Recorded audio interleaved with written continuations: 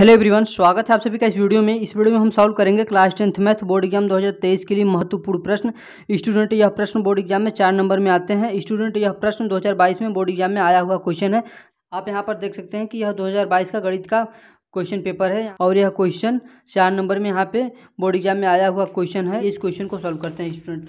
यह question board exam 2023 के student के लिए वेरी वेरी इंपॉर्टेंट होने वाला क्वेश्चन है, जो कि यह क्वेश्चन बोर्ड एग्ज़ाम में चार नंबर में आता है। तो यहाँ पे क्वेश्चन क्या है? द्विघात समीकरण under root three x square minus ग्यारह x plus eight under root three बराबर ज़ीरो के मूल ज्ञात कीजिए। हमें क्या करना है? इसकी मूल ज्ञात करना है। तो हम सबसे पहले लिख लेंगे। इक्वेशन क्या है हमारा समीकरण? यानी थ्री एक्स स्क्वायर माइनस ग्यारह x plus eight under root three बराबर ज़ीरो यह हमारा क्या है? समीकरण है। तो हम इसको किस विधि से हल करेंगे स्टूडेंट तो हम इसको श्रीधराचार्य के फार्मूला लगा के इसको सॉल्व करेंगे और इजली यह आसानी से सॉल्व हो जाएगा। तो श्रीधराचार्य का फार्मूला क्या होता है? तो यहाँ से हम लिखेंगे सूत्र से सूत्र से। तो श्रीधराचार्य का फार्मूला होता है एक्स बराबर minus b plus minus under root क्या होता है? बी स्क्वायर माइनस का फोर ए सी और अपान में स्टूडेंट क्या होता है? टू ए होता है। यह क्या होता है? हमारा श्रीधराचार्य का फार्मूला होता है। तो हम जानते हैं, यह क्या है? हमारा द्विघात समीकरण है, क्योंकि यहाँ पे x का सबसे अधिकतम पावर कितना है? यहाँ पर x का सबसे अधिकतम पावर दो है, और यहाँ पे x का यह वाला पावर कितना है? वन है। तो यानी कि यह जो समीकरण है, यह हमारा क्या हुआ? द्विघात समीकरण हुआ। और द्विघात समीकरण का व्यापक समीकरण क्या होता है? तो व्यापक समीकरण स्टूडेंट होता है ए, एक्स स्क्वायर प्लस का बी एक्स प्लस सी बराबर ज़ीरो। यह हमारा क्या होता है? द्विघात समीकरण का व्यापक समीकरण होता है। द्विघात समीकरण यानी एक्स का सबसे मैक्सिमम पावर कितना है? दो है तो यह क्या हो गया हमारा? द्विघात समीकरण हो गया। तो द्विघात समीकरण का व्यापक समीकरण यह है और यह समीकरण हमें हल करना है। हल करके क्या करना है? मूल्य ज्ञात करना है। तो हम क्या करेंगे? इन दोनों समीकरण को आपस में तुलना करके ए बी और सी का मान ज्ञात करके यह वाला सूत्र लगा के मूल ज्ञात कर लेंगे। तो यहाँ पे यदि हम दोनों समीकरण का तुलना करें तो यहाँ पे नीचे लिखेंगे दोनों समीकरण का तुलना करने पे। लिख कर हम क्या करेंगे? यहाँ पे एक्स स्क्वायर के आगे क्या है ए और यहाँ पे एक्स स्क्वायर के आगे क्या है? अंडर रूट थ्री तो यहाँ से हमें क्या मिल गया? ए बराबर अंडर रूट थ्री मिल गया। और यहाँ पे एक्स के आगे क्या है? बी और यहाँ पे एक्स के आगे क्या है? माइनस का इलेवन है। तो यहाँ से बी बराबर क्या मिल जाएगा? माइनस का ग्यारह मिल जाएगा। और यहाँ पे सी है और यहाँ सी के स्थान पे क्या है? Eight under root three. तो सी बराबर क्या मिला हमें? Eight under root three. इतना मिल गया। तो अब हम आगे क्या करेंगे स्टूडेंट? आगे यही वाला फार्मूला में हम ए बी और सी का मान रखेंगे और वहाँ से हमें एक्स के दो मान प्राप्त हो जाएँगे। तो यहाँ से हम सॉल्व करेंगे। एक्स बराबर माइनस है तो माइनस बी के स्थान पर क्या रखेंगे? माइनस का ग्यारह। यहाँ बी के स्थान पर रखेंगे तो माइनस का ग्यारह। फिर क्या है बीच में? Plus minus under root b square है, अंडर रूट में b square minus four a c है तो बी का मान कितना है? माइनस का ग्यारह का स्क्वायर, फिर कितना है? माइनस फोर, ए का मान कितना है? अंडर रूट थ्री, और सी का मान कितना है? एट, अंडर रूट थ्री है, यहाँ से, और पूरे के पार में क्या हो जाएगा स्टूडेंट? टू इंटू ए है तो ए का मान कितना है? अंडर रूट थ्री है तो थ्री हो जाएगा। तो अब हम क्या करेंगे? आगे किस प्रकार से सॉल्व करेंगे?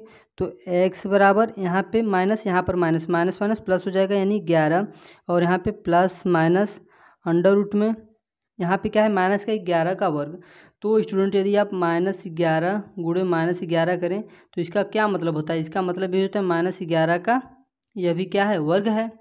इस प्रकार से यह माइनस ग्यारह का वर्ग है तो माइनस माइनस प्लस हो जाएँगे, ग्यारह का ग्यारह में करेंगे तो एक सौ इक्कीस आ जाएगा। तो यहाँ पे क्या हो जाएगा? एक सौ इक्कीस माइनस यहाँ पर अंडर रूट थ्री है और यहाँ पर भी वही रूट में थ्री है। तो हम थ्री अंडर रूट थ्री और अंडर रूट थ्री का मल्टीप्लाई होगा तो कितना आ जाएगा? थ्री, यानी कि under root three into under root three का जब मल्टीप्लाई करेंगे तो यह कितना आ जाएगा? थ्री आ जाएगा। तो यह हो गया थ्री और यहाँ पे फोर, यहाँ पर अंडर रूट थ्री का मल्टीप्लाई अंडर रूट थ्री में हुआ तो हमारा कितना आ गया? थ्री आ गया। थ्री एट जा twenty four twenty four into four करेंगे हम। तो ट्वेंटी फोर इंटू फोर करेंगे और यहाँ पे नीचे क्या आ जाएगा? नीचे तो हमारा इतना ही, टू अंडर रूट थ्री ही आ जाएगा स्टूडेंट। जब हम इसका ट्वेंटी फोर इंटू फोर करेंगे तो कितना? चार का चार में गुड़ा करेंगे, सोलह आएगा, हाथ में लगा एक, आठ एक नौ, यानी छानबे आ जाएगा यहाँ पे। ट्वेंटी फोर इंटू फोर करेंगे तो छानबे आ जाएगा। तो यहाँ से अब हम आगे देखेंगे तो एक्स बराबर ग्यारह प्लस माइनस अंडर रूट में एक सौ इक्कीस इसका गुणा करेंगे तो माइनस का छियानवे आ गया। और बटे में हमारा क्या है? टू अंडर रूट थ्री है। अब यह देखेंगे, इसको हम आगे लिखेंगे। तो यहाँ से एक्स बराबर ग्यारह है तो ग्यारह प्लस माइनस अंडर रूट। अब हम क्या करेंगे? एक सौ इक्कीस में से छियानवे घटाएँगे स्टूडेंट। तो एक सौ इक्कीस में से जब हम छियानवे घटाएँगे तो हमें कितना प्राप्त होगा? यहाँ पे इक्कीस है, यहाँ पे छियानवे। यानी इक्कीस चार पच्चीस। हमें घटाएँगे, आप घटा के देख सकते हैं, पच्चीस मिल जाएगा। और यहाँ पे नीचे क्या है? टू अंडर रूट थ्री है। अब जब अंडर रूट में हमें पच्चीस मिला तो यह बाहर कितना निकलेगा? पाँच निकलेगा, क्योंकि हम इसको इस प्रकार से लिख सकते हैं। एक्स बराबर ग्यारह प्लस माइनस अंडर रूट पच्चीस को हम लिख सकते हैं फाइव इंटू फाइव और बटे में क्या है? टू अंडर रूट थ्री है। इसके बटे में टू अंडर रूट थ्री है यहाँ पे। तो अब हम क्या करेंगे? अब हम करेंगे कि यह जो अंडर रूट में फाइव इंटू फाइव है यह बाहर कितना निकल जाएगा? एक बार निकल जाएगा तो यहाँ से हमें मिल जाएगा एक्स बराबर ग्यारह प्लस माइनस, यहाँ से फाइव मिल जाएगा और इसके बटे में क्या है? टू अंडर रूट थ्री हमें मिल जाएगा इस प्रकार से। तो आइए इसको अब हम आगे सॉल्व करते हैं। तो यहाँ से जब हम इसको आगे सॉल्व करेंगे तो एक बार यहाँ पे प्लस का साइन लेंगे और एक बार माइनस का साइन लेंगे। तो जब प्लस वाला साइन लेंगे तो क्या आएगा? एक्स बराबर ग्यारह है तो ग्यारह प्लस फाइव अपान में टू अंडर रूट थ्री, यानी एक बार हम प्लस का साइन लें और एक बार हम क्या करेंगे, माइनस वाला साइन लेंगे। जब यहाँ माइनस वाला साइन लेंगे तो एक्स बराबर ग्यारह माइनस का पाँच अपान में टू अंडर रूट थ्री आएगा यहाँ से। तो यहाँ से हम क्या करेंगे, ग्यारह पाँच जोड़ेंगे तो कितना हो जाएगा, सोलह बटे टू अंडर रूट थ्री तो यानी दो से सोलह हमारा कट जाएगा, दो आठे सोलह, यानी आठ अपान में थ्री आ गया, एट अपान में अंडर रूट थ्री एक आ गया। अब यहाँ पे जब हम घटाएँगे ग्यारह माइनस पाँच करेंगे तो घटेगा तो हमें, घट के कितना मिल जाएगा स्टूडेंट? यहाँ पे हमें सिक्स मिल जाएगा। जब यहाँ पे सिक्स मिलेगा स्टूडेंट, सिक्स अपान में टू अंडर थ्री है तो यह कैंसिल करेंगे, टू थ्री जा सिक्स मिल जाएगा। अब यह जो थ्री है यहाँ पे, थ्री को हम क्या करेंगे? Under root three into under root three लिख सकते हैं। तो यहाँ से एक्स बराबर under root three into under root three लिख सकते हैं ऊपर थ्री को, और अपान में क्या है? अंडर रूट थ्री बचा एक से एक कैंसिल हो गया हमारा। तो यहाँ पे एक्स का एक मान कितना आ गया? अंडर रूट थ्री और यहाँ पे एक एक्स का मान आ गया एट अपान में अंडर रूट थ्री यानी एक्स के दो मूल हमें प्राप्त हो गए। स्टूडेंट इस प्रकार से हम क्वेश्चन को सॉल्व करेंगे। स्टूडेंट यदि आपको इस सोल्यूशन का पी नोट्स चाहिए तो नीचे वीडियो डिस्क्रिप्शन में लिंक है, जहाँ से जाकर आप इसका पी नोट्स डाउनलोड कर सकते हैं।